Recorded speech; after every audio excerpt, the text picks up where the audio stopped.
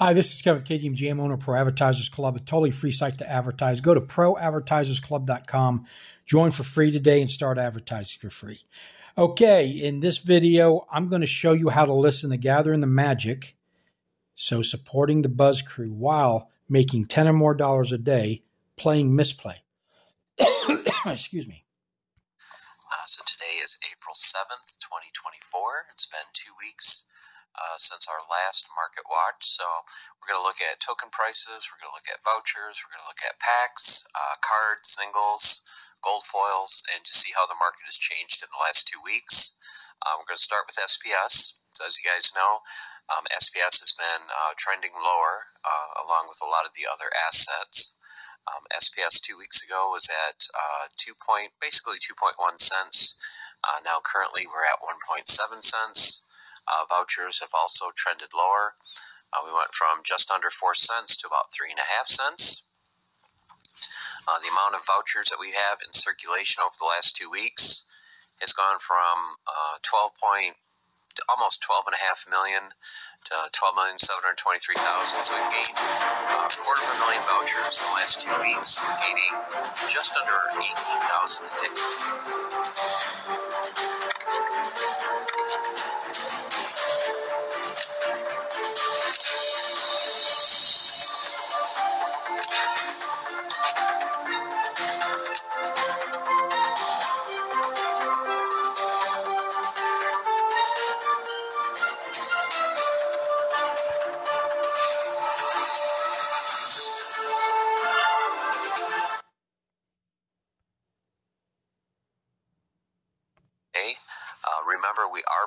40,000 a day, so that means currently we're burning over half of the vouchers uh, that's being released every day. So that's pretty uh, positive looking towards the future as we get more voucher burns.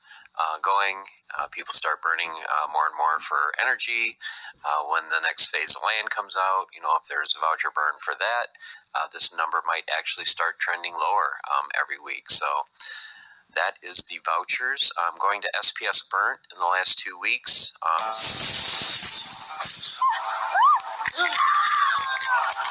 we went from 57 million burnt to almost 58.5 million. Um, so we burned 1.3 million over the last uh, 14 days. So it comes out to just under 100,000 SPS that's getting burnt every day. And then uh, a new number that I'm going to start tracking too is just the total supply. Like, what is the maximum amount of SPS that is available uh, once it is all released? Um, the beginning cap was 3 billion, so now we're at uh, 2 billion 878 million. So we're going to start tracking that from now on. Um, next is packs. So the pack prices, there really hasn't been a whole lot of change for any of the packs. Um, a lot of them have drifted just slightly lower. Uh, the one point that I want to point out is for Chaos Legion. Chaos Legion continues to fall down to 65 cents for a pack. So, are we going to hit 50 cents for Chaos Legion packs? Do you think that's uh, likely? I wonder if, like, in the next week, we start getting into, you know, like 58, 55 cents. So at some point, this is going to start trending up. I keep thinking, you know, when it hits 70 cents, that's an awesome deal. Uh, now we're at 65 cents. Um, later on, we'll look at Chaos Legion packs and look at those card prices, especially the gold foils. And um, you can see that 65 cents may be um, a really good deal based on the gold foil prices. Um, so as far as packs, um, how many packs were opened over the last two weeks? Uh, if you notice our alpha packs, none were open the last two weeks. Um, still 4,307 packs.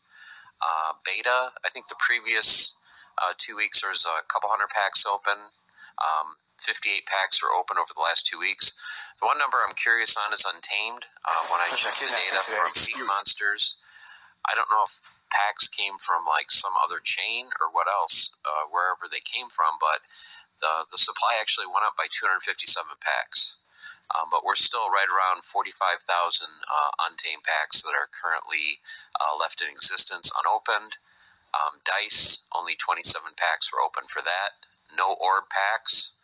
Uh, Chaos Legion actually has kind of slowed down for a while. We were opening, you know, 40, 50,000 packs every two weeks. Um, over the last two weeks, only about 10,500 have been opened, so fewer people are opening uh, Chaos Legion packs. Uh, Riftwatchers over the last two weeks, uh, we've gone down um, about 2,000 packs have been opened there, so we're down to only 127,000 Riftwatcher packs. And Rebellion, uh, you can see the pack prices dropped from 387 to 325. Uh, we sold an additional 16,447 packs over the last two weeks. So a little over 1,100, just under 1,200 packs a day. So uh, the previous two weeks it was right around 1,500. So Rebellion has slowed down even more. So I'm wondering, you know, two in the next two weeks are we going to get to about a thousand a day? But overall, pack sales have been pretty soft, as long you know, along with the rest of the uh, the market in Splinterlands. Okay, so now let's look at sets, and we're going to start with Alpha. Um, alpha prices, as you look at right here, the screen, just for um, just overall how it's done the last two weeks, pretty consistently. Um, but let's take a look at the page because I want to have this as a record um, just for future use so we can see the price and we can also see the quantity and the quantity available. So we're going to scroll through these um, for each set, just like I said, to just kind of keep a record for future reference. So here are the commons, ranging from 45 cents from the Skeleton Assassin. Uh, most expensive, I believe this was the same price before, Flesh Golem for $3.88. We'll move on to the rares and this is just for the core set. Uh, Twisted Jester is the cheapest at $1.27. You can see the quantities available for sale here. And most expensive card continues to be uh, Alric at just under $10. For your epics, you're looking at just under $4 for the Fire Demon, up to $8.22 for the Air Elemental. And your legendary cards, uh, $38 for Selenia Sky, and $100 for the Chromatic Dragon. Now let's look at the gold foils. So your cheapest gold foil, um, just under $23 for Rexy, and most expensive is $123 for the Silver Shield Knight, now you'll notice it says result 17. There are 20 different comments in the set. So three of the comments are just a single copy available for sale.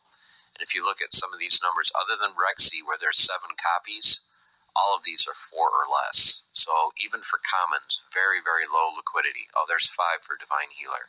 But very low quantity, even for commons and beta for gold foil. Uh, moving on to rares. Once again, there's 20 rares in the set there's only six gold foils available on uh, the market. Uh, $98.99 for the Frozen Soldier, $500 for Tyrus. Moving to epics. Um, epics, there's only three available. Screaming Banshee for just under 290, Serpent of the Flame for 499, and Naga Warrior for 699. And gold foil legendaries, just one copy. Lord of Darkness for 3740. So to see how that compares to the previous weeks, you can see here not a lot of change in uh, the base prices. Uh, for the gold foils, pretty much the same. Um, one of the epics went down from 1750 to 699. Uh, the Lord of Darkness two weeks ago was the only copy as well. Um, two weeks ago they were asking 52.40. Now it's 37.40. And now looking at the promo cards.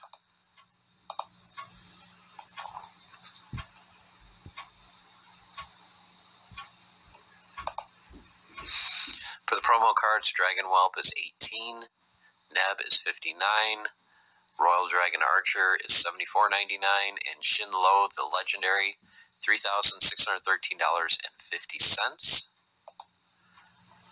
So you can see the prices pretty much the same from two weeks ago. And then for the gold foil promos, there's only two. So the epic and the legendary, there's none. The common, surprisingly, they're asking $2,849, and the rare, they're asking 98 So those are the promo prices. Okay, so let's move on to beta. Look at regular, common. So for beta, looking at the core and reward cards, uh, the prices for the commons have actually dipped. Um, two weeks ago, the cheapest common for beta was 14 cents.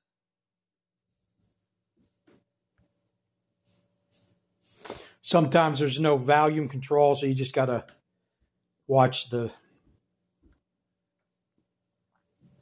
watch the video till the X comes up.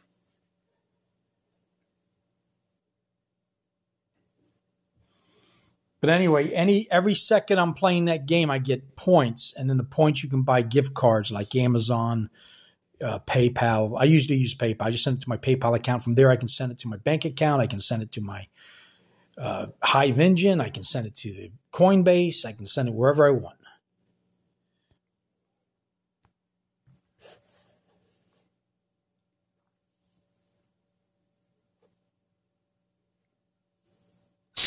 Now it's dipped down to six. Uh, the rare prices have come down a little bit for the low end, as long along with the legendaries too, or the uh, epics. Whoop! Hold on. I shouldn't have done that. I didn't mean to do that. Let me finish this part of the game. I'll open it back up.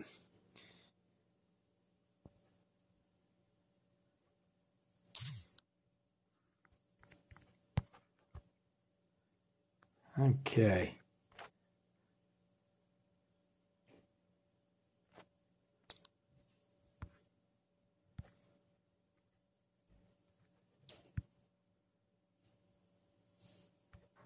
Epics. Uh, two weeks ago, the cheapest epic was over two dollars. We'll see now the cheapest epic is a dollar. Um, so the low end of some of the beta cards has dropped. So let's take a look at these just so we have a record of the cards, quantity, and how many are available on the market at this time. Some great beta cards here. So your most expensive uh, beta common is the Divine Healer at 82 cents. Let's look at the rares. Now, what I like to do here on Mistplay. By the way, Gather the Magic is talking about a game called Splinterlands that is on the Hive engine. Um, it's a Web3 game, so you can build equity in the game. You can play to earn, earn to play.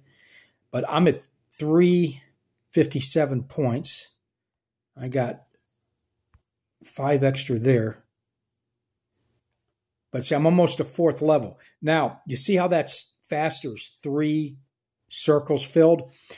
I'll play the fourth level and I'll quit because then the amount of time. Now, this is a fun game. I might keep this one for a while, but um, when you on the faster is how many points you earn and how fast. I'm getting 60 points every level, and when I when I just started this, I made 60 points, and then I'm gonna make 60 points here in a few, probably about another two three minutes.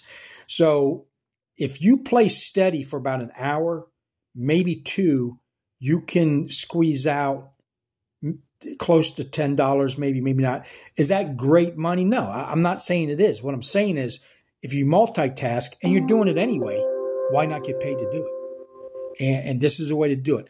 The links are below for all these games Splinterlands, Mistplay. Um, but you got to play the game through Mistplay. The way that you do that is you download the Mistplay app, go through my link, I'll get credit for it. You click on the Mistplay, it opens up, it's got all the games. It, you got to download the game inside the Mistplay app so that the API can give you credit for playing the time. I've been using Mistplay for a very long time. It always pays out, it's never not paid out. And as much as I play, the most I've ever made in a day was 40 bucks. I did uh, four $10 payouts. So let's get, let's go see, let's go finish this fourth level so I can then go on to another game. So your cheapest rare is the Pirate Archer at 30 cents.